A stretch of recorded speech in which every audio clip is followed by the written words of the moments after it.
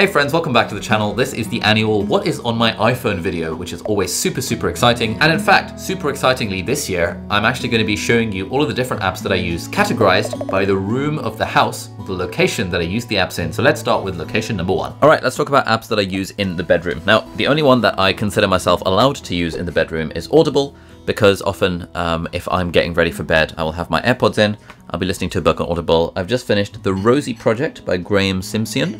Simsion, which is apparently one of Bill Gates' favorite books, and it's about a genetics professor with autism who's trying to find a wife. So that was relatable in some ways. And at the moment I'm listening to the Pillars of the Earth series by Ken Follett, which is very good. Now normally I try to not bring my phone into bed with me, but occasionally I do, and that is when I end up spending lots of time on Clubhouse, been spending a fair bit of time on Clubhouse recently. You can follow me on there if you like. Clubhouse, if you're not familiar, is like audio, sort of like Discord, Discord audio rooms for different topics. And so occasionally I see that some of my friends in America, like YouTubers in my agency, are doing an event, uh, which in America time ends up being midnight in the UK. And often then I open Clubhouse thinking, oh, I'll just listen in for a few minutes. And then I get like involved and then I get sucked in and then I'm there at three o'clock in the morning. Obviously, if I do take my phone into bed, I inevitably end up wasting time on Instagram. Often I scroll through Instagram and sometimes if I'm feeling particularly narcissistic, I'll scroll through my own Instagram feed and watch some of my old stuff. And of course, I also spend large amounts of time scrolling through Twitter. Uh, and Twitter and Instagram are the banes of my life and that's why I try my very best not to bring my phone into bed with me. Oh, and one more app, which I don't really use actively, but which is passively tracking my sleep is called Autosleep. So, depending on how I'm feeling, often I will track my sleep using my Oura Ring and my Apple Watch, which I'm not wearing at the moment because I've been wearing it for so long that it's caused some like, you know, dermatitis on my skin or something weird like that. But normally I track my sleep using my Apple Watch, and Autosleep takes all that data and tells me how well I'm sleeping. Haven't really found the trends to be particularly helpful, but I thought, I thought, hey, the data's there, so I might be able to query it at some point. So those were the apps I use in the bedroom. Let's now head over to the bathroom. Okay, now we're in the bathroom. Don't judge me for this. I know you do the same thing. We all bring our phone into the bathroom, and then we end up using lots of apps in the bathroom. Now, when I'm being a waste man, the ones that I scroll through are Twitter and Instagram, which we've talked about already, and YouTube Studio. The bathroom is actually where I respond to most of my YouTube comments. So I'll go on YouTube Studio, I'll, I'll click on the comments thing. Usually, I, if I see a comment, I just like it because then it helps me keep track of what the comment is and I will try my very best to reply to people's comments while I'm on the toilet. So that's if I'm being a waste man, but one thing I'm trying to do when I'm in the bathroom is instead of using Twitter, Instagram, and YouTube, I'm instead trying to use Instapaper. Now, Instapaper is the app that I use to collate all of the articles that I've stumbled across on the internet that I know I want to read later at some point, but if I don't have time to read them there and then, usually when I'm on the computer, I'll save them to Instapaper and then they'll be in a nice little feed on my phone and hopefully, what I'm hoping is that when I have free time, like when I'm on the toilet, I will read through an article that I've wanted saved already. And the really cool thing about Instapaper is that I can highlight things. And thanks to the app called Readwise, which I'll talk more about later, it automatically synchronizes to Roam and Notion, which are two of my kind of pivotal note-taking apps that I'll talk about in a little bit as well. Here's an interesting one. The modern trap of feeling obligated to turn hobbies into hustles. so clearly I saved that to Instapaper thinking, oh, this is an interesting article, I should read that.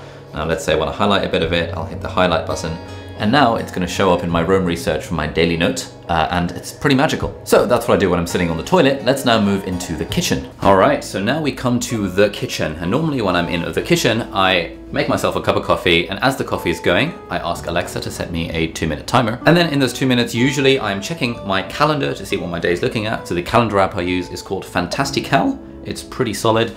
Been using it for the last like, I don't know, four or five years at this point. It's a little bit expensive, but it's pretty good. And the cool thing about Fantastical is that it like syncs with Google Calendar and iCloud Calendar and all the other calendars and I can subscribe to different calendars. It's all the same stuff that any other calendar app does, but because I've been using it so long, I have basically no reason to switch away from it. Occasionally while I'm in the kitchen as well, I will also browse a little bit of TikTok. Recently I've started to become more active on TikTok, so you should follow me on TikTok if you aren't already. And it's mostly like the life advicey stuff that I post on TikTok, you know, with like a, a little bit of a um, TikTok captions and emojis and trying to keep it short and sweet. But sometimes I post experimental content on TikTok as well. So this is me trying to do a Harry Potter impression. I have rabbit harp string home. Turn this water into rum. Then again, clearly some of you have come to Hogwarts in possession of abilities so formidable that you feel confident enough to not pay attention. Then again, And finally, depending on whether I'm trying to hit my goals of getting six pack abs, I'm not right now, um, I will occasionally use MyFitnessPal to track my calories and my macros and that kind of stuff. And if we look for the last year, I started off at 73 kilograms this time last year, and I'm currently about 79 kilograms. So things are not going great on the front of trying to get shredded with six pack abs. And then usually I grab my coffee from the kitchen and make my way into this armchair where I sit with my feet up and my blanket usually. And when I'm not sitting here playing PlayStation or watching TV, I like to treat this as a bit of a alternative work corner uh, as an alternative to my desk. And so the main app that I spend a lot of my time in is Slack. This is how my team and I communicate, and it's how we talk about stuff around the YouTube channel and the podcast and brainstorming titles and thumbnail ideas for videos that sort of thing. Slack is also what we use to host the members only community for the Part-Time YouTuber Academy Inner Circle, which is our membership community for the alumni of the Part-Time YouTuber Academy. And so we've got a channel for like general gear questions, feedback on videos, titles and thumbnails, support, tips and tricks, that sort of stuff. It's a very nice wholesome community. While I'm sitting here on my phone, I often use the app Drafts to take any notes on anything that's top of mind. Generally, the app that I use for note taking these days is Roam Research, but Roam is still a little bit temperamental, so often I switch to Drafts if I ever need to write something down down. In particular, if I have a random idea for a new video, which I often have while I'm sipping on coffee in the morning and on my phone,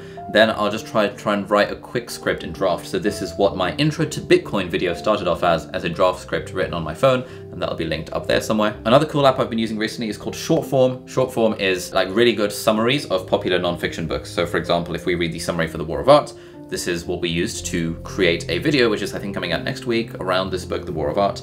And it's really nice because they give you like a really detailed one page summary, but then on top of the one page summary, you get a full summary as well. And that sort of gives you a chapter by chapter summary of the book.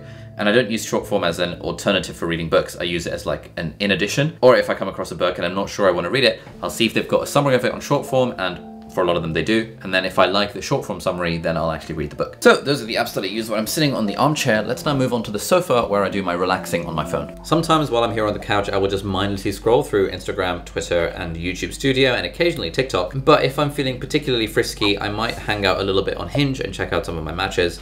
This is what my profile looks like for whatever it's worth. Do let me know if, if there's any ways I can improve it down in the in the comments below. Uh, obviously flexing my million subscribers plaque as the very first thing on my Hinge profile.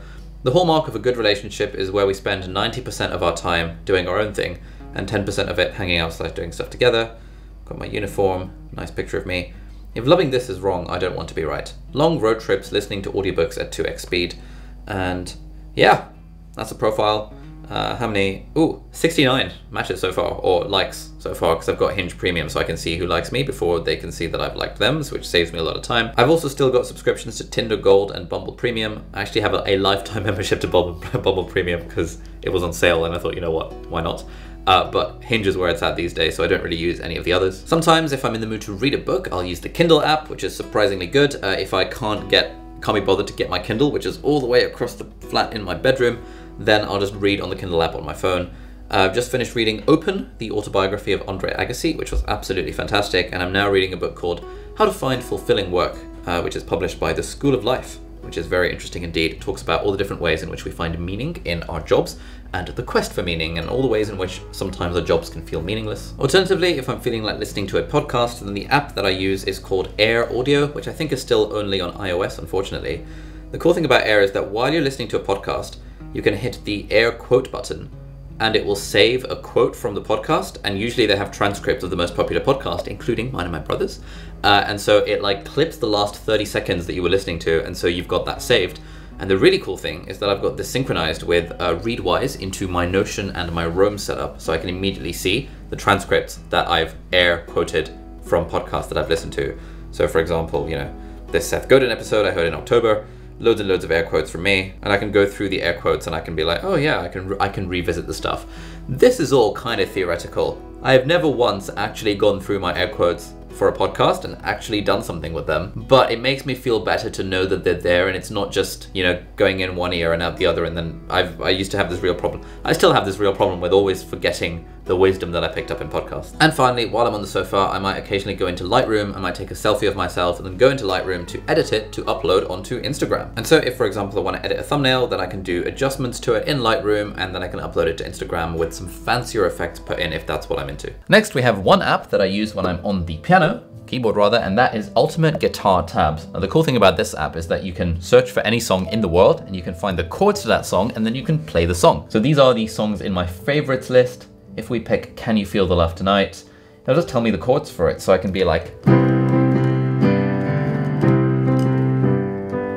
There's a calm surrender to the rush of day when the heat of a rolling world can be turned away.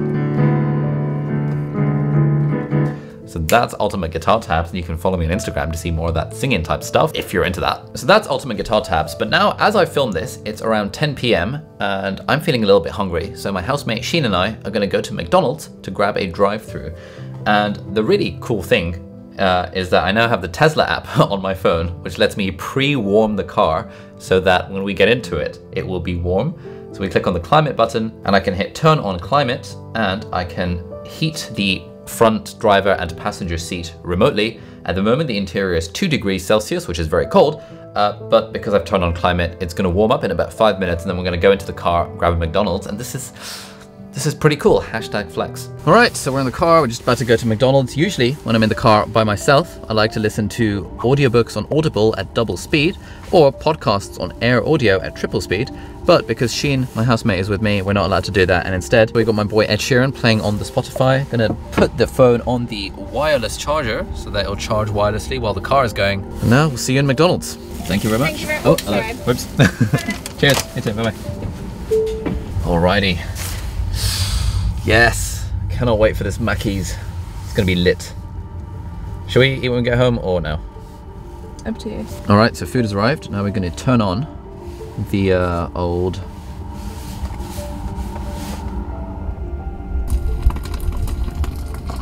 and get cozy. We turn the lights on, and this is how Sheen and I eat our McDonald's together, isn't it, Sheen?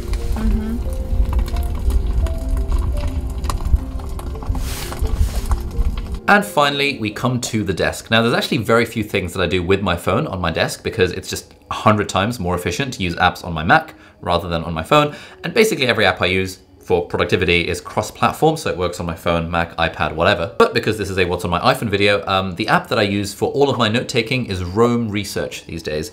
Mostly on desktop, I very rarely use it on, on, on iPhone, but it does have a reasonable quick capture way of taking notes. And I'll put a video up there that shows more about how I use Roam in case you want to check it out. So Roam is what I use for personal note taking, but the app that we use for team note taking is Notion, unsurprisingly.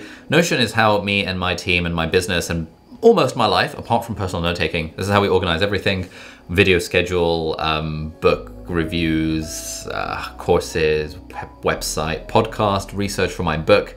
It's all going into various Notion pages, and Notion is what we use for absolutely everything. Again, put a link over there and in the video description to more videos where I talk in depth about exactly how I use Notion, because I've talked about that ad nauseum on this channel so far. The app that I use for private journaling is called Day One, um, and I'm not going to show you what my journal looks like because I, well, it's you know a private journal. Um, usually I don't use Day One on my phone, uh, but again, cross-platform, so if I want to type anything into Day One, I usually just type it on my Mac, usually before I go to sleep, uh, or in the morning when I'm doing my morning journaling, chuck it straight into Day One. I've been using Day One since like 2014 or 2015, something like that, so I actually have five years worth of journal entries in Day One. And yeah, you can see these blue days are the ones where I've actually used it. I have kind of periods where I use it quite a lot and periods where I don't use it at all, but you know, it's actually quite nice to be able to look back on my life and it, it, gives you these things of, you know, on this day, five years ago, this is what you wrote. And I'm like, oh, damn, on this day in 2016, this is what I was thinking. That's kind of interesting. Music wise, Spotify for absolutely everything. I would love to be an Apple Music sort of person, but it's just so bad compared to Spotify. And right now I'm playing an instrumental playlist for Homework Club for my part-time YouTuber Academy where me and like 12 other people were all filming various videos for our YouTube channels and just doing it together. Oh, and in terms of email, I actually use the email app Superhuman. Superhuman is apparently the fastest way to do email. I've been using Superhuman since like June of 2019, and it's a very solid app. I have found no reason to switch. Uh, it's a bit expensive. It basically lets gives you the privilege of paying to check your Gmail, but I actually really like it, and it's uh, it's a it's a pretty solid app. So yeah, superhuman across all my devices is how I check my email. And finally, an app that I've actually been using relatively recently is Discord. Now I dabbled with having a kind of fan Discord server at one point, but it just became way too much to manage. Maybe thinking about restarting one. If anyone's interested in being a moderator for it or helping me start one out, drop me an email. Um, email addresses on the website and in the video description. But now I use it like for the last for the last few days. I've been playing Call of Duty, uh, Cold War, Modern Warfare, Cold War, Black Ops, Cold War, Black Ops, whatever it's called, with some friends. We've we've been playing like domination mode, uh, and so we have a voice channel on Discord where I'll sit on sit on the couch, play PlayStation with my AirPods in, and I'll uh, I'll be on Discord with the boys. And the final app I want to talk to you about is actually one that I often use while I'm on the sofa because it's just so easy to access on my phone, but I also use it on the iPad and on desktop if sometimes I feel like it. And that is the app Brilliant, who are very kindly sponsoring this video. Now, Brilliant is actually a fantastic app that has courses in all sorts of topics of maths, science, and computer science. Recently, I've completed their course on cryptocurrencies, which was particularly interesting as an introduction to how things like Bitcoin work and like cryptographic hash functions and all the interesting science behind that.